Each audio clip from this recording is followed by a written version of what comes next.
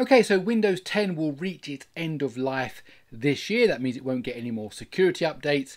And that means that if you're doing things like online banking or any online shopping, there is a danger that uh, you could have your personal information stolen. So it is best to move away from Windows 10. Now, of course, you have a variety of different options in front of you. One of those options is to migrate over to Linux.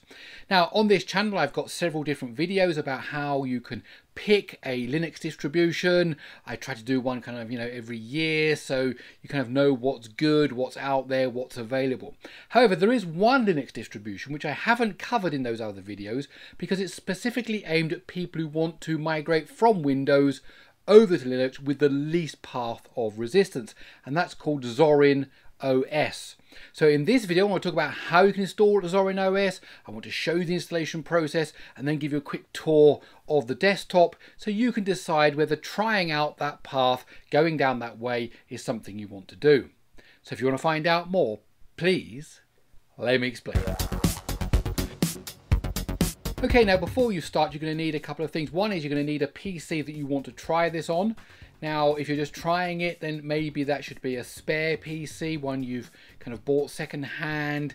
You can try it in a virtual machine if you want to, and you can try it on your main PC just booting off the USB drive, and we'll talk more about the USB drive in a second, uh, and then trying it without installing it, so it just leaves your system perfectly as it is. Please be aware, and I will repeat this later, if you do install it, it will overwrite what you already have on your PC.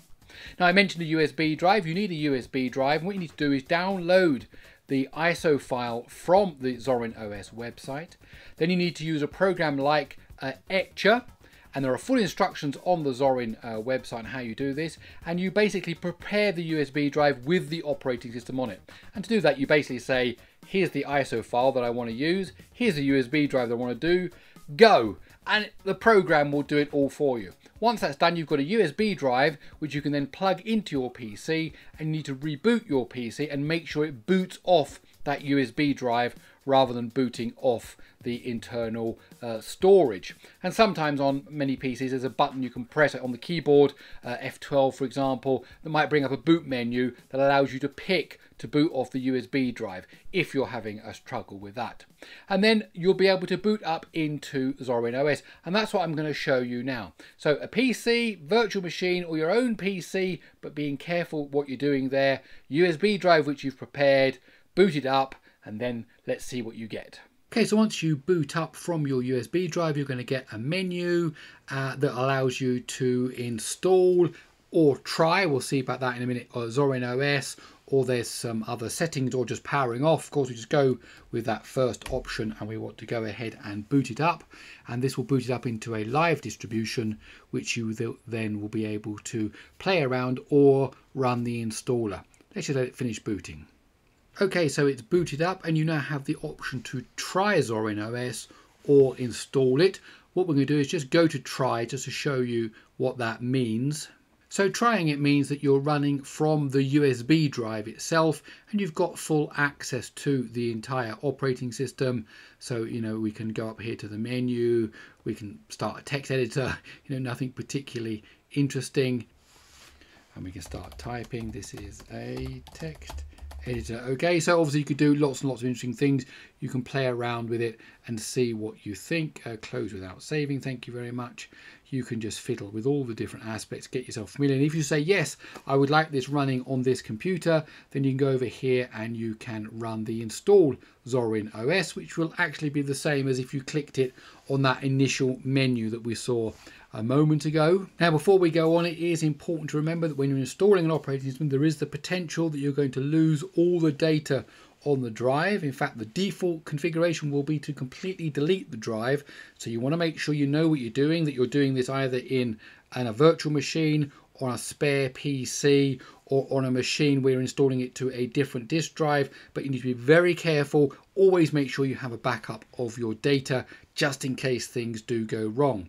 So the first option we have is to pick the keyboard. I'm just going to stick with the defaults. And then we say what do you want to do? Do you want to download the updates? Yes I do. Do you want to install third-party software for things like the graphics driver? Uh, yes I do. And I don't want to send any data across. Click on continue Okay, and as I was saying, look, erase this. Warning, this will delete all your programs, documents, photos, music, and any other files. Now, I can do this on this machine because there is nothing on here and I want to install a fresh install of Zorin on here. You need to be very careful, but if you're happy with that, you can go ahead and click install now. It will just ask you one more time. These are the changes I'm going to make. I'm going to delete this hard drive. Is that okay? Yes, it's okay.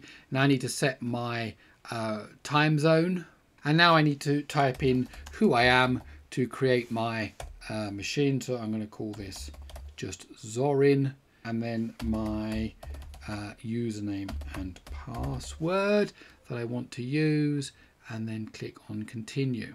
Okay, so while we're waiting for that to install, let's just go through some of the highlights of Zorin OS. I have taken these unashamedly from the Zorin OS website.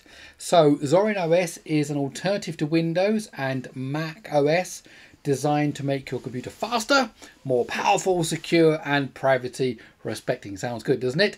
And it's designed to be easy. And this is actually the main thing about Zorin OS. They really have tried to make it easy for people who come from a Windows or Mac OS background to feel at home, to remove the barrier so that they can get into using a Linux distribution without kind of too much headache without too much of a learning curve. That's really what this distro is aiming to do. Now, as I said, it is a Linux distro and it's built on the foundations of Ubuntu and Debian. And uh, the Zorin project believes in privacy as a fundamental human right. That's why Zorin OS doesn't collect personal data. So that may be something a lot of you who've been worried about that on, let's say, Windows and so on, would be happy. So advertisers and governments can't spy on your activity. It, of course, is open uh, source, so anyone can audit its source code and verify those privacy claims. You can install Zorin OS alongside Windows or Mac OS to keep your files and apps. So that's what's called dual booting. And you're able to choose which OS to use at boot up. I'm not covering that in this video. That is a bit more of an advanced topic. However, it is possible. And uh, you can run Windows apps, some Windows apps on Zorin OS because it has Windows app support built in. That basically means using the Wine project, which is basically a Windows uh, emulation layer. Uh, and so that is built in by default. You can just run that. And if you double click on an exe file, it will realize it's a Windows exe file and then try to configure it through that emulation support. You can also install native Linux and Windows games from Steam, for example, Lutris, and other sources. Zorin OS comes with NVIDIA, AMD, and Intel graphics drivers, as well as game optimizations, so you can get great performance. Now, of course, uh, gaming on Linux is a lot easier nowadays since we've got Steam OS that really has opened up the way, and Zorin kind of uses some of those fundamentals to get uh, gaming running on uh, Linux. And the final thing to say is that your documents, music, photos and videos will work on Zorin OS because you've got access to things like LibreOffice, which of course can edit and view uh, Microsoft Office, Microsoft uh, 365 documents. And if you do do the dual boot, then you can still access the files that are on your Windows partition, assuming it's not encrypted, uh, uh while you're inside of Zorin OS.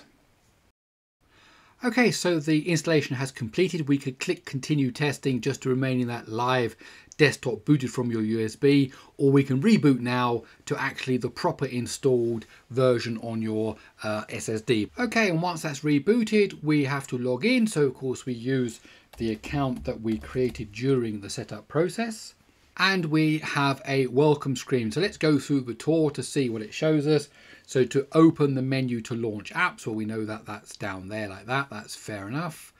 So we can choose the look and feel of the desktop. So we go to the Zorin Appearance uh, menu and we can set here different types of style, uh, very much looking like, you know, kind of different operating systems. Uh, I pretty much like, I think the uh, the default one.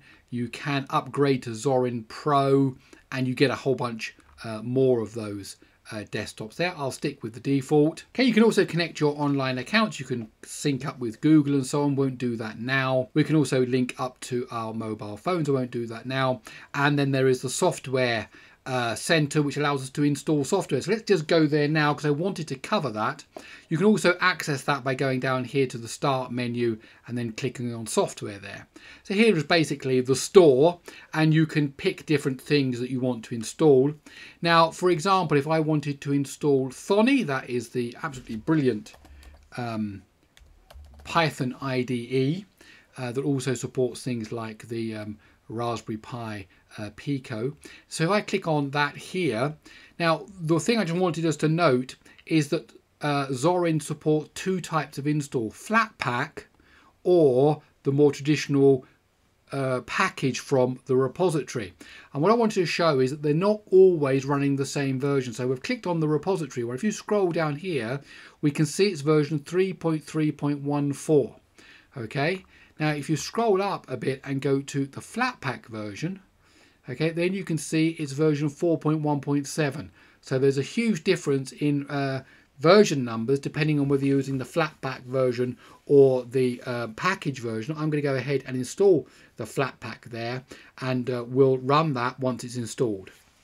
Now while that's installing, let's go back to our tour. So there you go, that's it, hope you enjoy. So we can close that now and we can uh, wait for our package to install. While we're waiting for that again, it also a pop-up came up telling me that there are packages that need to be updated. So this is the same as what you get in Windows or in uh, in Mac OS. They fix things and they can be updated. At the moment, I'm just going to say remind me later. It really is a case just in clicking installing now. It'll go away, download them and install them. Updating just the same as you would even on your smartphone. So we'll worry, that's not something to worry about. That's a good thing, pretty easy. Uh, and i have just uh, delayed that till later. Okay, so that's now installed. Now you could just click open here from the software center or you go down here. Of course, we can search for things as well. We don't know what menu it's in, Thonny, let's go ahead and launch that. And we'll just show this running. It's just a simple pro, uh, Python program. Hello world. If I can type and then of course you can just hit run here and it will come down there hello world. We won't go into python now. I've got other videos covering that here on this channel. Now one other interesting thing to mention is that the default browser now is brave. Now according to the zorin website in light of mozilla's recent policy changes the Zorin team no longer felt that Firefox aligned with their commitment to privacy. So therefore they've opted to make uh, Brave the default browser for Zorin uh, 17.3 and onwards. Okay, privacy by default. That is the uh, the way they are announcing themselves. Now, if you go over to the software center that we were in uh, previously, okay, we can notice here that if we can search for Chrome, uh, so Chrome is available to download and run.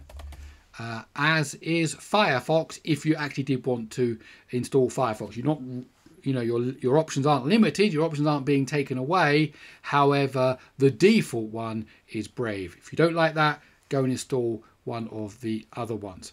Now, of course, that's it. There's lots that, of course, we could go through all these different menus, go through all the different things you can do uh, in the settings. This, of course, is a fully functional desktop operating system. Lots of things you can uh, play around with and change. However, as you can see, browsing, files, uh, an office suite, programming, uh, it's all there for you just to dive in and start using it.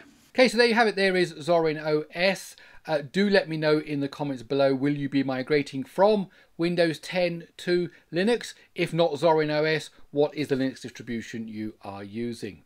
My name is Gary Sims. This is Gary Explains. I really hope you enjoyed this video. If you did, please do give it a thumbs up. And if you like these kind of videos, then I invite you to stick around by subscribing to the channel. Okay, that's it. I'll see you in the next one.